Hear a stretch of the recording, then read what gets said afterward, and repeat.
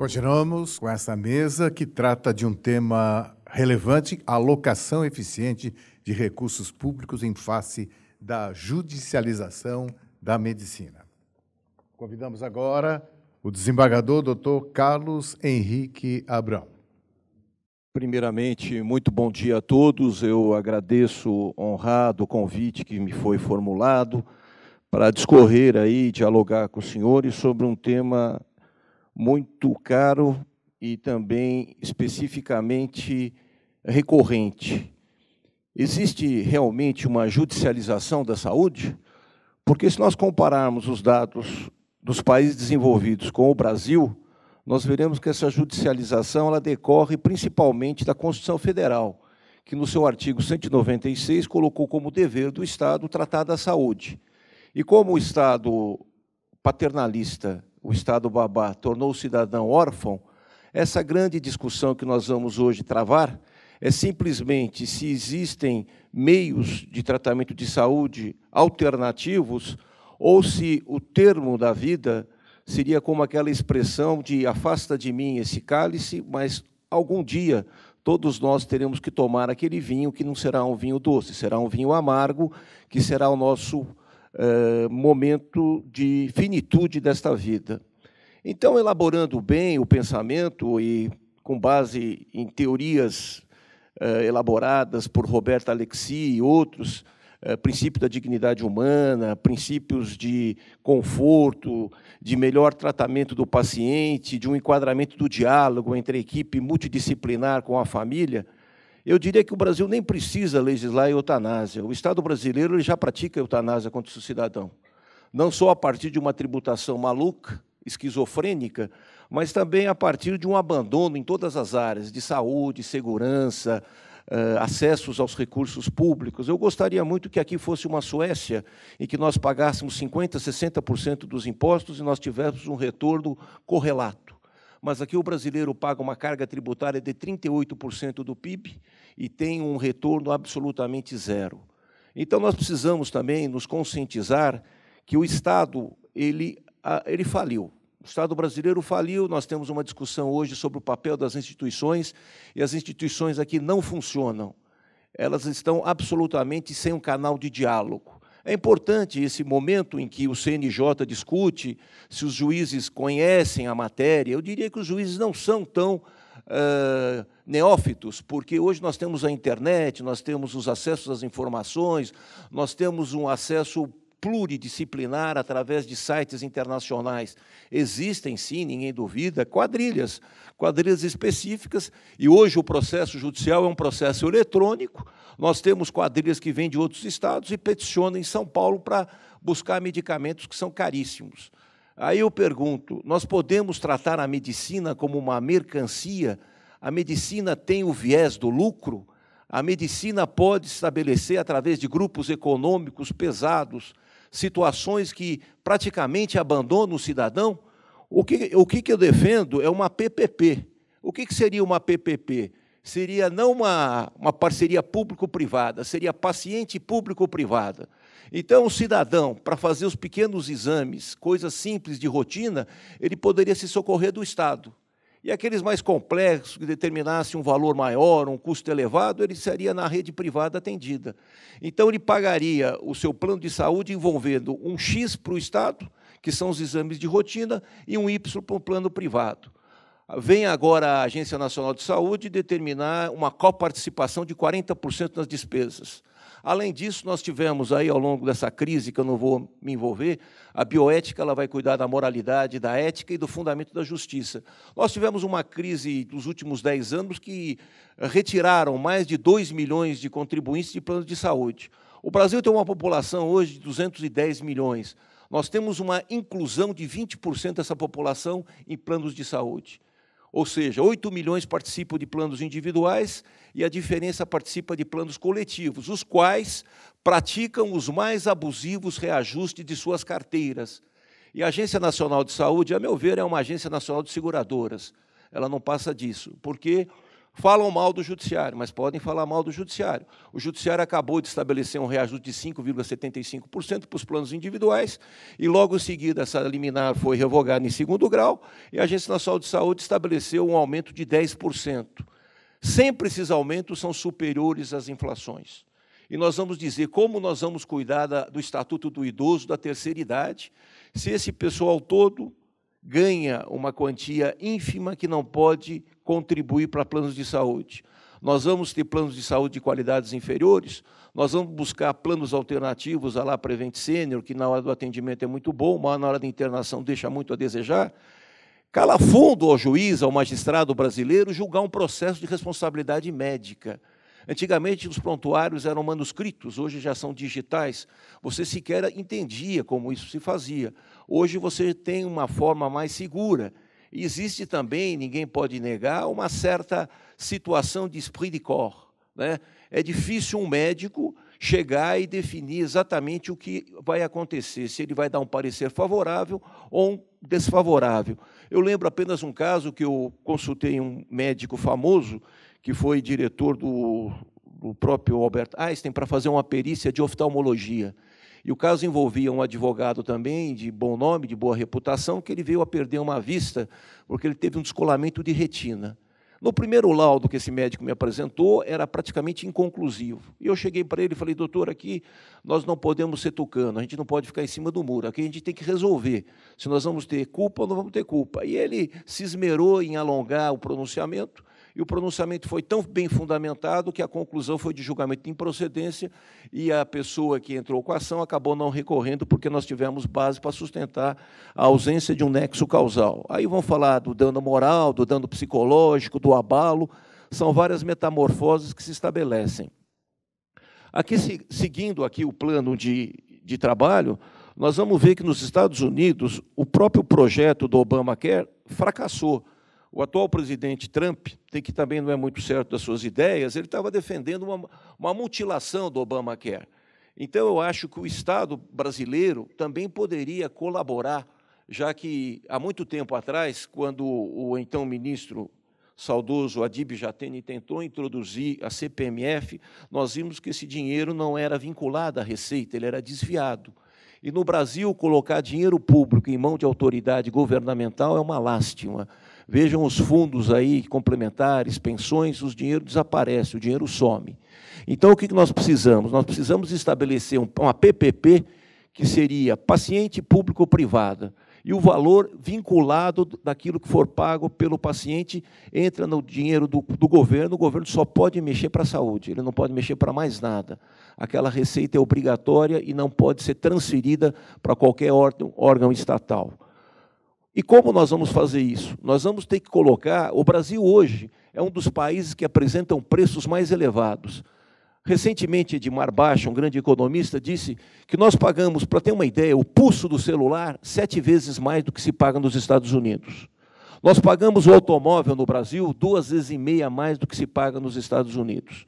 E nossos planos de saúde são valores também muito maiores do que se pagam na Europa, na Alemanha, na França, na Itália, ou no Japão, o Japão, surpreendentemente, hoje tem uma população de 100 mil pessoas que passaram de 100 anos de idade. Ou seja, existe aquilo que se chama prevenção. E no Brasil, nós estamos gastando 5 bilhões de dólares por causa da obesidade. Os senhores diriam, é um valor fantástico. Não, os Estados Unidos gastam 500 bilhões de dólares por causa da obesidade. Então, vejam, são parâmetros distintos. Enquanto que o PIB americano está em 17, 18 trilhões de dólares, a nossa crise fez o país naufragar e chegar a um PIBzinho aí de 4 trilhões de dólares, e nós temos um endividamento público de 95% disso. E como atender toda essa população brasileira? Nós temos muitas leis, mas nenhuma delas praticamente funciona. Nós temos aí um disparate, uma desabrida interpretação legal, nós temos aí todo dia discussões em torno daquilo que poderia melhorar o, o fator saúde. Temos quadrilhas, temos casos assim que empresas americanas entraram em delação premiada ou acordo de leniência nos Estados Unidos sob suspeitas de representantes do Brasil vendendo próteses para médicos, vendendo outros artigos médicos, enfim, tudo isso acontece e o judiciário não pode fechar os olhos para esta realidade. A rede pública do SUS é boa, mas ela também ela tem um contingenciamento, ela não funciona para todos, ela não atende como na Inglaterra. Na Inglaterra, por exemplo, o tratamento de câncer, você tem um prazo de uma semana, dez dias no máximo para atender aquela doença. No Brasil, você vai fazer um exame, vai fazer uma ressonância magnética, você tem 40, 45 dias, 60, até às vezes um ano para fazer uma ressonância magnética. Aí você pergunta, como é que você vai entender a charada dos planos? Eu vou dar um exemplo próprio. Eu ia fazer uma ressonância magnética, liguei para um laboratório, dei o número do plano. Hoje você tem um número de plano, um número de atendimento, tal. E o plano falou para mim: olha, esse exame aqui não há cobertura. E o plano é um plano praticamente que eu considero um plano top. Aí eu liguei para um outro uh, prestador de serviço, de igual qualidade ou até melhor, e o plano falou que tem cobertura total. Então, quer dizer, hoje o consumidor ele é praticamente alienado dessa situação de conhecimento das realidades do plano de saúde. E vai você buscar um, um, reembolso. Eles vão exigir todos os documentos, vão exigir nota fiscal, vão exigir relatório médico. Agora, a posição do paciente ou da família do paciente é muito relevante. Porque você vai no atendimento que não lhe cobre as expectativas, a família tem que tomar uma atitude. Né? Então, você não pode ficar nas mãos de uma situação que você não entende segura ou correta. Por causa disso, nós temos um setor fortemente em risco. Por quê? Porque as políticas públicas elas não funcionam simplesmente. Essas políticas públicas elas estão deslocadas e nós temos hoje mais de 5 mil municípios. O que significa isso? Será que as prefeituras estão suficientemente aparelhadas para separar o joio do trigo? Não estão. As prefeituras sequer têm dinheiro para pagar seus servidores públicos. Então, sobrecarrega demais os estados, que estão também em estado de pagamento parcelado de suas dívidas junto à União, e a União ela faz uma espécie de SUS, que é o seguinte, eu lhe dou as ambulâncias, eu lhe dou o atendimento de rotina, eu lhe dou a ambulância uh, do, dos paramédicos, das viaturas, dos bombeiros, e vocês, estados e municípios, simplesmente se viram, porque a União ela arrecada tudo e distribui muito pouco. Então, o que, que significa essa judicialização da medicina? Nós temos aí uma ineficiência estatal muito grande, uma balela constitucional do artigo 196 que não atinge nada. A CPMF, de muitos anos atrás, ela se transformou numa tragicomédia. Muito te pouco tempo atrás já tentaram ressuscitar a CPMF, mas uma grita geral aí dos empresários, dos industriais, não, não levou à frente essa matéria. Nós temos uma grande intervenção de fundos, seguradoras e bancos. Agora nós perguntamos, essa mercantilização da saúde, ela pode deflagrar uma crise sem precedentes na história do Brasil.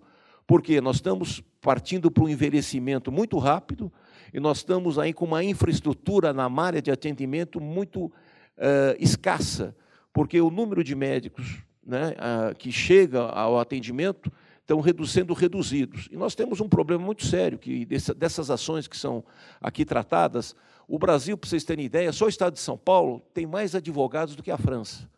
Ah, hoje, em São Paulo, a OAB registra 450 mil advogados. A França não tem 300 mil advogados. Então, essa judicialização também é provocada por esse modelo catastrófico de que faculdades entram no país somente para formar pessoas que não têm a mínima ética ou moralidade ou escrúpulo. Se ganhar, ganhou, se não ganhar, nós temos aquilo que se chama o risco zero da justiça. O que, é isso?